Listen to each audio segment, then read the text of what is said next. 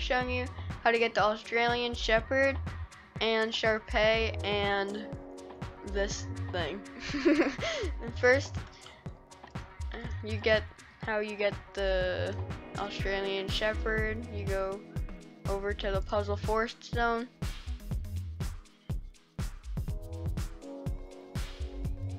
And then it should be right should be somewhere around here.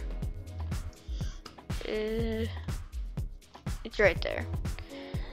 I don't have, you have to complete all the dog collection.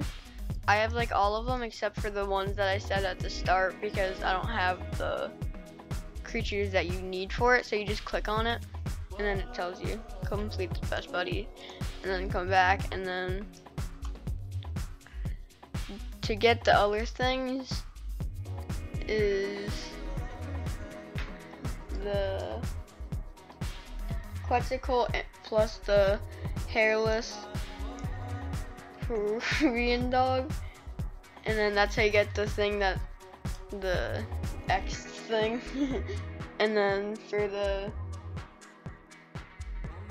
Shar Pei you need to get the the X thing and the bulldog of Tibet.